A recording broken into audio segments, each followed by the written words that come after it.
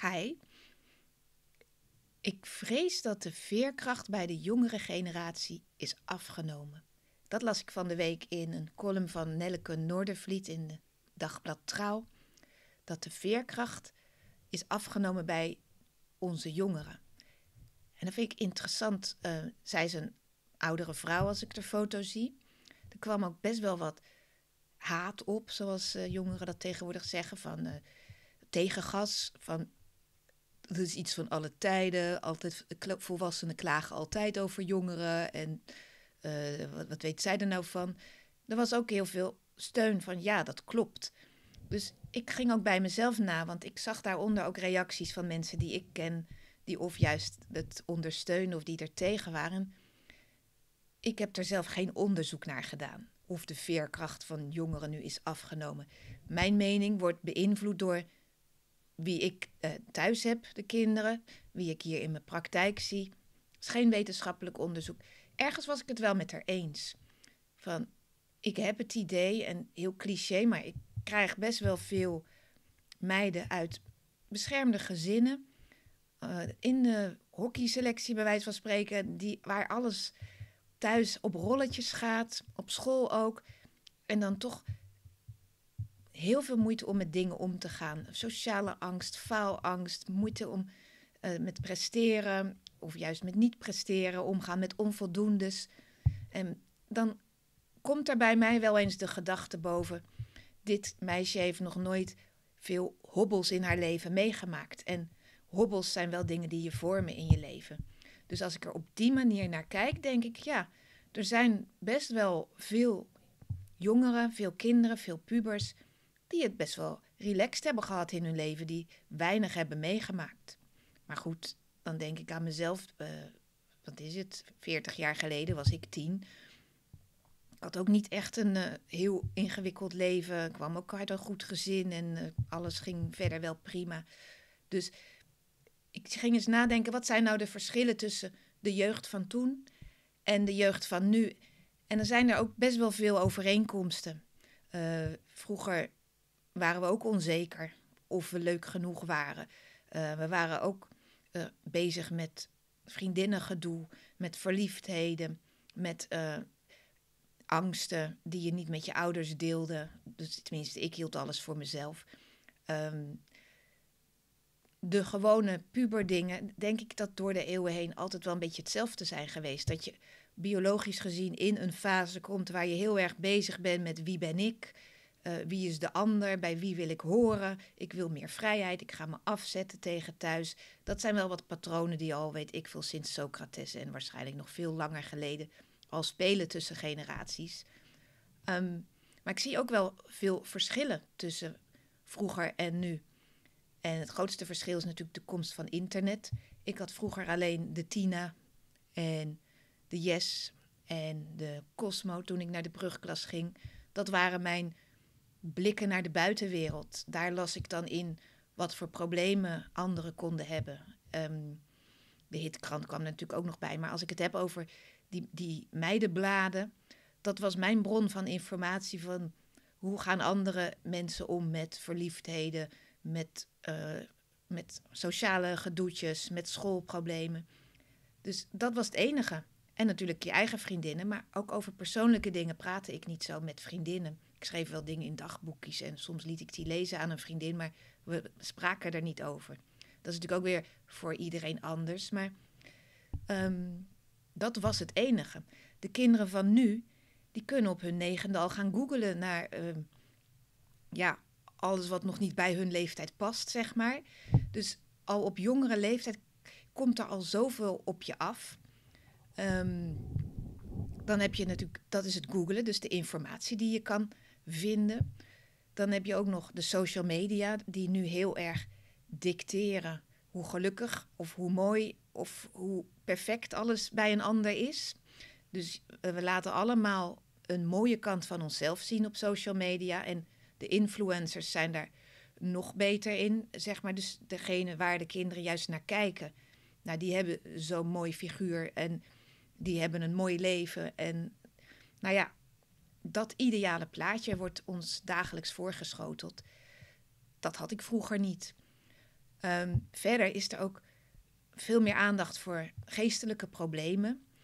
Uh, dus wat staat er in de DSM? Wat zijn uh, mentale stoornissen? Uh, je kan testjes doen online. Je kan heel veel informatie vinden. Er is ook veel minder een taboe op. Vroeger was het echt wel heel bijzonder als je naar een psycholoog ging. En nu is er voor van alles en nog wat een coach voor het sporten, voor mentale dingen, voor schoolproblemen, voor weet ik veel wat. Er zijn overal coaches voor. Ik ben er één van. Maar dat betekent ook dat het makkelijker wordt om daarover te praten. En dat kinderen ook makkelijker zelf hun eigen diagnose gaan stellen. Ja, mam, ik heb eens even gekeken, maar als ik dit zo lees, heb ik wel een depressie. En dan is het maar hoe je er als ouders mee omgaat. Ga je naar de huisarts, praktijkondersteuner, wachtlijst, psycholoog? Of schakel je andere hulp in? Of negeer je het? Of vertel je aan je kind: het is best normaal dat we allemaal dips in ons leven hebben? En ga je kijken hoe je zelf je kind hierin kan begeleiden? Het is natuurlijk anders in elke situatie, maar het is anders dan vroeger, waar je niet zo makkelijk jezelf, uh, bij jezelf diagnoses kon stellen. En depressie is een voorbeeld. Hè. Je hebt natuurlijk ADHD, ADD. Nou ja, je weet wel het hele rijtje. Het wordt makkelijker om het te vinden en om bij jezelf te denken: heb ik dat?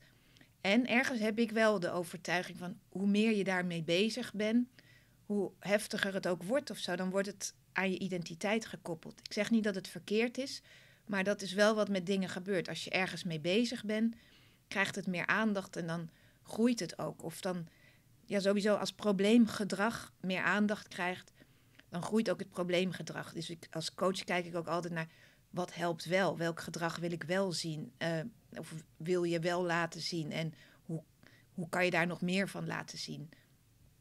Maar goed, dat was even een zijstraatje. Ik was bezig met uitleggen wat is er dan vroeger anders dan nu. En dan is het dus Google, social media, de openheid over mentale problemen. En wat nu ook de laatste jaren heel erg speelt, is alles met uh, gender issues, op wie je bent, in, in welk hokje, tussen aanhalingstekens, je hoort. Daar werd vroeger helemaal niet over gesproken, dus daar hoefde ik als 12, 13, 14-jarige helemaal niet over na te denken. En nu komt dat erbij op de bordjes van de huidige scholieren. Dat daar natuurlijk goed dat daarover gepraat wordt, dat er openheid over is, dat het geen taboe is. Maar het is wel iets extra's waar je mee bezig bent. Van bij wie hoor ik dan? Bij wie wil ik dan horen? En hoe ga ik om met mij anders zijn, mijn anders zijn, met dat ik mij anders voel? Dat is wel anders dan vroeger. Goed dat het meer open is, maar ook weer extra iets om mee bezig te zijn.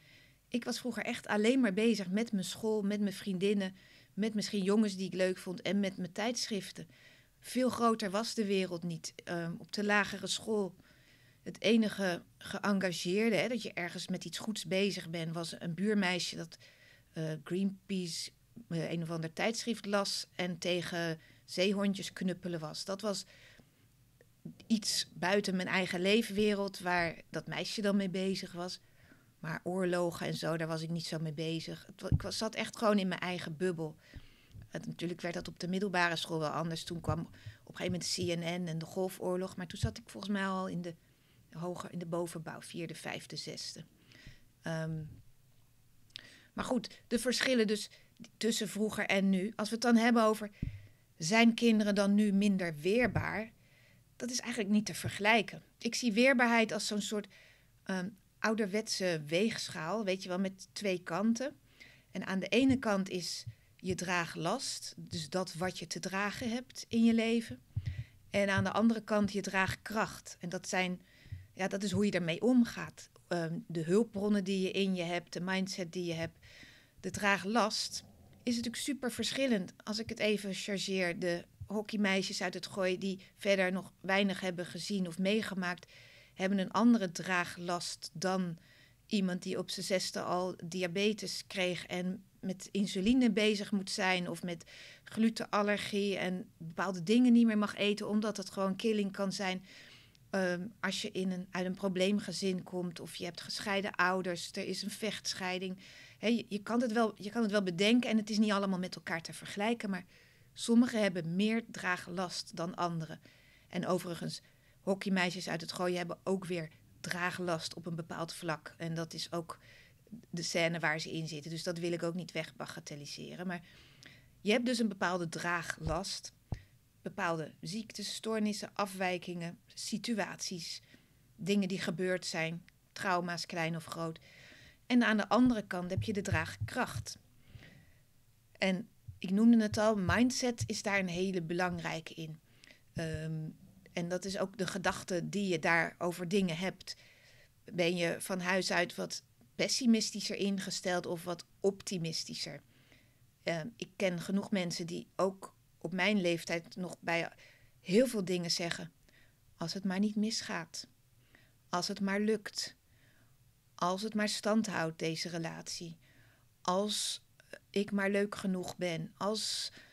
Ik weet niet, maar. Dus dat is echt van die, die mensen zijn altijd voorbereid op dat het mis kan gaan. En die hebben dat altijd erg aanwezig in hun achterhoofd. En die zijn misschien ook bezig met het verleden, met wat er in het verleden ook al misging. En aan de andere kant van het mindset spectrum heb je mensen die optimistischer zijn. Of die denken, we gaan er het beste van maken. We zien wel wat er gebeurt. Of het komt wel goed, ik weet nog niet hoe, maar het zal heus wel een keer goed komen. Dus qua mindset, en daar kan ik nog een hele podcast over vullen, over wat voor gedachtenpatronen heb je en welke krijgen het meest aandacht in jouw bewustzijn en vaak ook in je onbewuste. Uh, en hoe kan je daar wat meer invloed op hebben, zodat je wat meer helpende gedachten krijgt. Mindset is een belangrijke als het gaat om draagkracht, dus aan die kant van de weegschaal. Want als je bij alles denkt, waarom moet mij dit nou overkomen? Ik heb het echt veel zwaarder dan alle anderen. Het ligt een beetje aan de toon waarop je het zegt. Want het kan ook een feit zijn. Maar je voelt vast wel in, aan wat ik ermee bedoel. Wat ook bij aan de kant van draagkracht zit, is, uh, zijn de interne hulpbronnen die je hebt. Hoe ga je om met tegenslag? Um, hoe ja, heb je doorzettingsvermogen? Als je achter staat bij een voetbal- of hockeywedstrijd, um, heb je dan het doorzettingsvermogen om te kijken of je nog voor kunt komen? Dat, dat soort dingen vraag ik wel aan kinderen. Van, wat doe je dan op zo'n moment? Geef je het op of zet je door? De optimisme is ook een krachtige hulpbron. Um, dingen van je af kunnen laten glijden is ook een krachtige hulpbron. Um, uh, meer in je eigen bubbel gaan zitten en niet te veel bezig zijn met de hele grote buitenwereld als je daar last van hebt. Dat is ook een hulpbron. Dus het is heel verschillend wat dan die interne hulpbronnen zijn, welke karaktereigenschappen helpen. Maar ze beïnvloeden dus je draagkracht, in hoeverre je iets aan kan. En als je dan die weegschaal voor je ziet met aan de ene kant de draaglast, wat iemand te dragen heeft in zijn leven, en aan de andere kant de draagkracht, dan zie je dat vaak wel scheef gaan. Sommige mensen hebben niet zoveel te dragen, uh, maar hebben wel allerlei karaktereigenschappen dat je denkt, nou, die, die staat lekker optimistisch in het leven, die kan wel veel aan. Bij anderen is het wat meer in balans. Die hebben wel wat dingetjes te dragen, maar gaan daar wel op een relaxte manier mee om. Dan hebben ze genoeg draagkracht voor hun draaglast. En sommigen hebben heel veel draaglast en weinig draagkracht. En dat is dan waar het misgaat. En dat is waar angsten kunnen ontstaan, depressies, uh, burn-out ook. Hè, dit gaat ook over je werk. Welke draaglast heb je op je werk en welke draagkracht heb je? En in dat geval is bijvoorbeeld nee zeggen een kwaliteit die bij draagkracht zou kunnen horen. Zodat je niet zoveel hooi op je vork hebt dat je draaglast zo groot is. Dus kijk ook eens bij jouw kind hoe dat verdeeld is. Als ik een intake hou bij nieuwe kinderen en pubers en jongeren in mijn praktijk, is een van mijn eerste vragen: hoe heb je de coronaperiode ervaren? Best wel een open vraag. Soms zeg ik er nog bij de lockdowns. Maar ik vind dat echt super interessant. Van als we het hebben over draaglast, dat is voor deze generatie, vergeleken met mijn leven vroeger, wel een stuk heftiger. Van alles stond stil. Mijn topsportende zoon kon niet meer trainen. Hij trainde vijf, vijf keer drie uur in de week, vijftien uur in de week. Hij deed wedstrijden. Alles stond stil. Hij mocht niet eens meer trainen. Uh, ik weet nog dat ik zijn was aan het opvouwen was en dat de laatste trainingsshirtjes in de schone was zaten. En dat ik echt zo dacht, ik weet niet hoe lang dit gaat duren, wat erg. Ik vond het zo sneu voor hem. Maar dan heb je ook nog de lockdowns van school. De, dat je in je sociale bubbel moest blijven, dat je niemand meer mocht zien. En voor iedereen was dat anders, die ervaring. Maar ik vraag het dus altijd aan kinderen, gewoon om te kijken wat ze het eerste zeggen. En dan zijn er een hoop die zeggen, oh, ik vond het heerlijk. Dus we hoeven het ook niet heel dramatisch te maken. Voor veel kinderen, ik vond het heerlijk. Lekker een beetje thuis. Nou, ik deed niet zoveel aan school, maar ik hoefde ook niet zoveel te doen. Uh, gewoon lekker niks, uh, lekker weinig mensen zien, heerlijk. Die mensen heb je ook. Maar er zijn natuurlijk zat mensen die wel in een isolement kwamen, die echt het contact met leeftijdgenoten misten. Het is ook niet gezond, vind ik. Ik vind dat pubers, jongere kinderen moeten veel interactie hebben met andere kinderen en met volwassenen om hun brein goed te laten ontwikkelen. En dat stond allemaal met horten en stoten stil een paar keer de afgelopen jaren. Dus hoe, en dan is voor de ene dragenlast erger dan voor de ander. Want als je dan in een gezin zit met een kwetsbare moeder of vader of oma, mocht je helemaal niemand meer zien. Ehm, dat maakt het nog weer wat lastiger. Sommige kinderen waren zelf bang. Ehm, dat speelde allemaal. En dan ben ik benieuwd wat ze er zelf over zeggen. Ja, dat was best wel heftig. Maar het is nu voorbij. Of, en dan vraag ik, hoe heb je je staande gehouden? Wat maakte dat je dat hebt overleefd? Wat deed je dan anders? Ja, ik ging meer dit doen, ik ging meer dat doen. Dan ben ik al een beetje aan het, aan het uh, kietelen, aan het uitvragen van waar zit jouw draagkracht? Hoe ga je om met dit soort externe factoren die jouw leven zo beïnvloeden en waar je zelf helemaal niks aan kan doen? Hè, en dat is natuurlijk voor kinderen in andere landen en hopelijk eh, voorlopig niet bij ons als een oorlog je land bereikt dat is echt zo'n externe factor. Maar dat corona, dat viel ook als een deken over de hele wereld. Van, we kunnen er bijna niks aan doen. Je invloed is beperkt tot, ja, je, ga een mondkapje dragen of zo. Of ga afstand houden. We, we kregen het niet echt in de vingers. En, en in deze tijd willen we vaak wel heel veel op orde hebben en perfect hebben en onder controle hebben. Dus interessant, kijk ook eens naar jouw kinderen. Hoe zijn ze met die periode omgegaan? En welke lichtpuntjes heb je toen gezien? Ik denk dat, dat het een hele leerzame, misschien ook een K-periode, maar voor veel kinderen, maar ook een hele leerzame periode is geweest van je hebt het overleefd, het is achter de rug.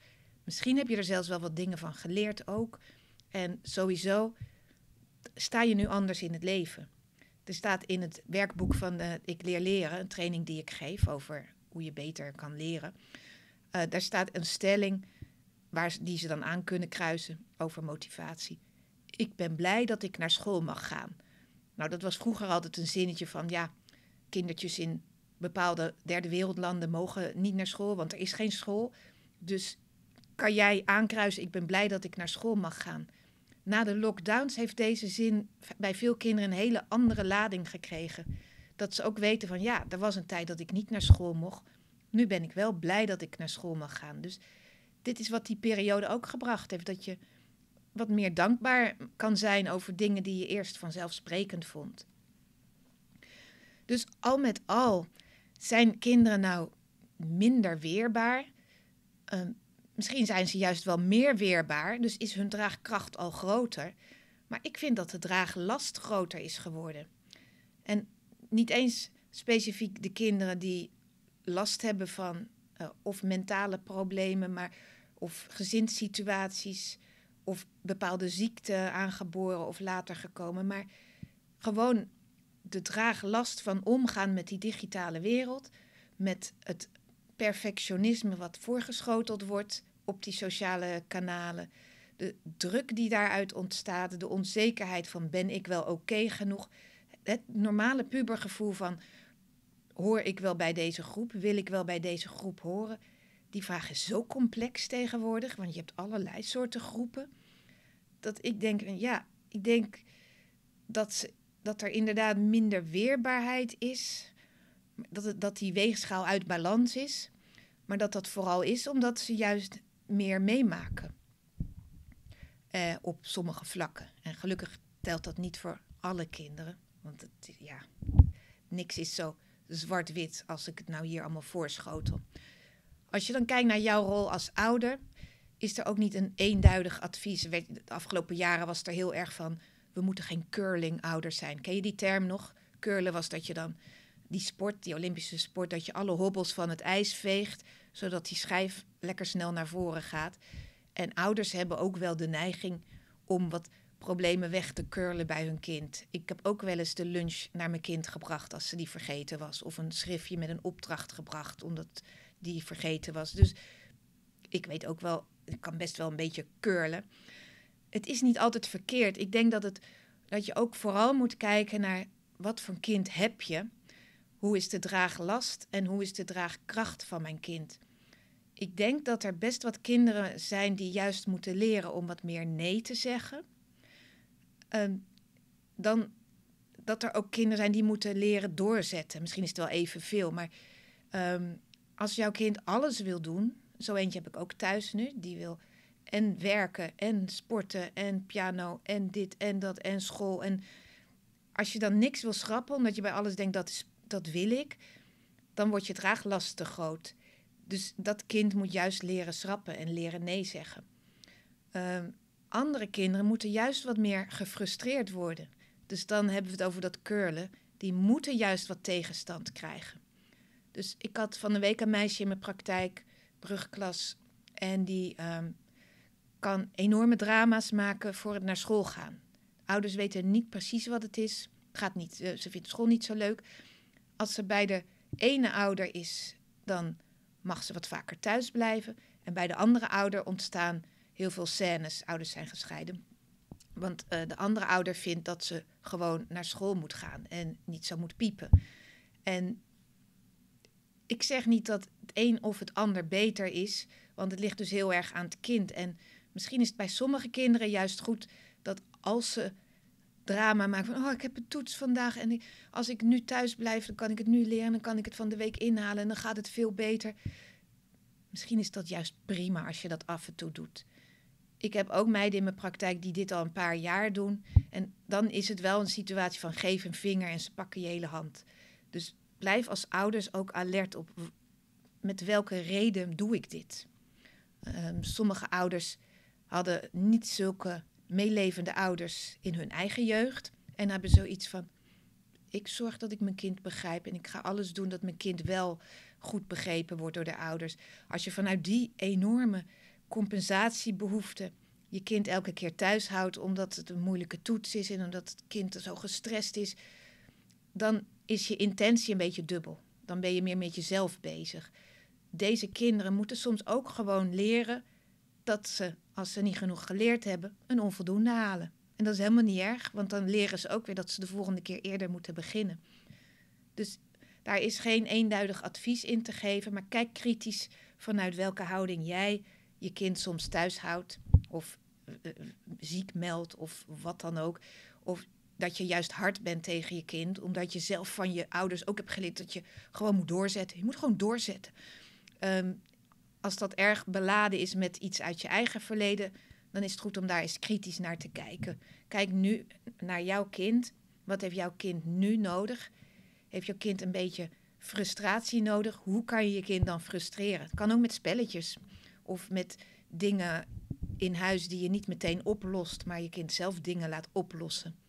En als je kind juist moet leren om wat meer grenzen te stellen, dan mag je best helpen daarmee door af en toe te zeggen van nou ga maar even niet of doe dat maar even niet of laat mij het maar even voor je doen. Want dat zijn kinderen die juist wat meer die draaglast omlaag moeten brengen. Ja, dus dit was mijn hele verhaal over weerbaarheid bij kinderen. Nelleke Noordervliet had daar dus haar eigen uh, mening over. Ze kreeg daar heel veel reacties op en iedereen reageert weer vanuit zijn eigen uh, ja, belevenis, vanuit eigen leefwereld, eigen blik op de wereld. Uh, het is allemaal wat ingewikkelder dan zo'n snelle quote. Dat kunnen we in ieder geval wel concluderen. Bedankt weer voor het luisteren. Tot de volgende keer.